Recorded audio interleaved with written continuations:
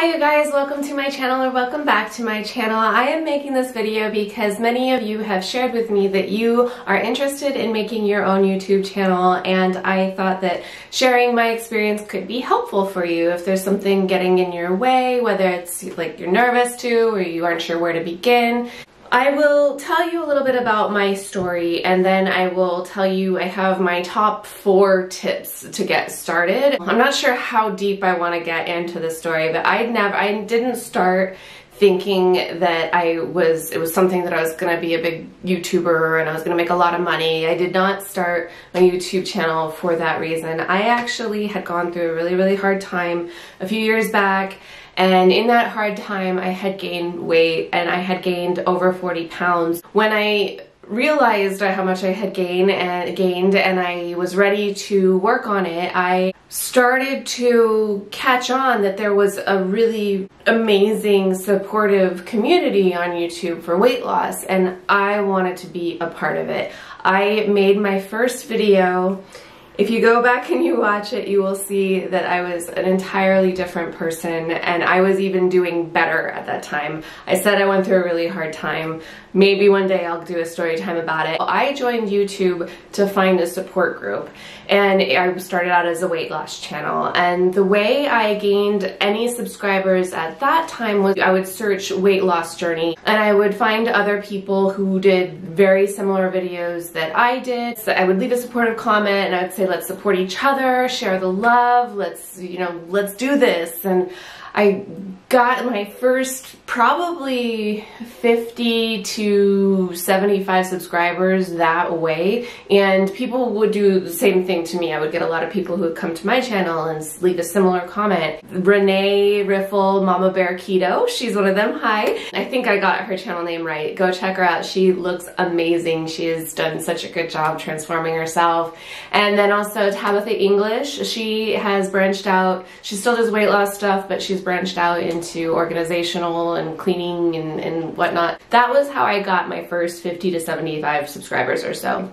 And then what happened was I got engaged. So I started to branch out just from weight loss to wanting to just pamper myself, work on my beauty routine, and I caught on that there were subscription boxes. I had heard of Birchbox years before, but now that I was going on YouTube more and more often, I started to see all these subscription box videos, and I ended up subscribing to FabFitFun and Causebox and GlobeIn and FabFitFun has turned out to be my favorite, obviously, because that is where my channel kind of lives these days. And it, my channel organically started to move into beauty stuff, especially as I approached my goal weight and my wedding.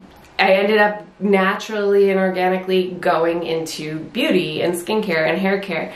One thing that I noticed when I was getting into FabFitFun, somebody, I was in the community forums, somebody commented that Dr. Brandt tested on animals and my whole world just opened up. Well, my world was already opening up because I had never explored beauty and cosmetics and all that beyond drugstore and and now I was I was learning and trying out all these higher end things and I was starting to feel so pampered and it, it just helps so much with my self-esteem. This this whole thing, it's, YouTube has helped with my self-esteem immensely. I had no idea that animal testing was still happening in the cosmetic industry. No clue. I, I just was completely oblivious.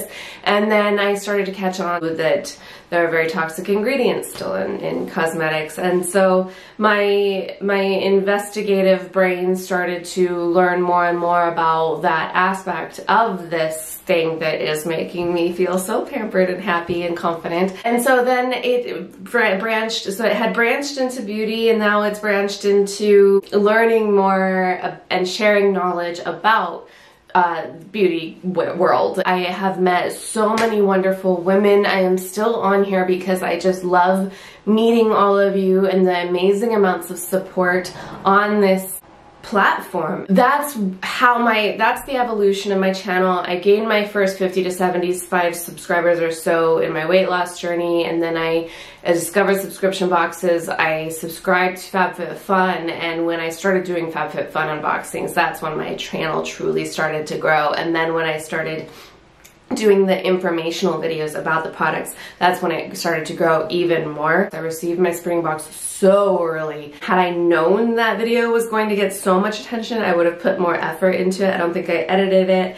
I didn't make sure the lighting was good. I have four tips that I decided are kind of the most important for where to start if you just want to start. The first tip is to just start. Just it, You don't need fancy equipment.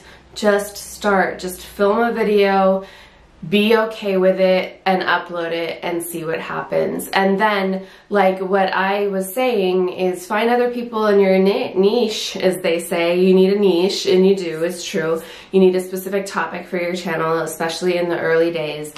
Find people and, and go to their channel, watch their video, and genuinely want to watch their videos. Don't just go and be like, watch the first two seconds and leave a comment and then say, come share the love. Watch their videos, comment on something in the video, and then say, hope to stay connected. I mentioned don't worry about fancy equipment.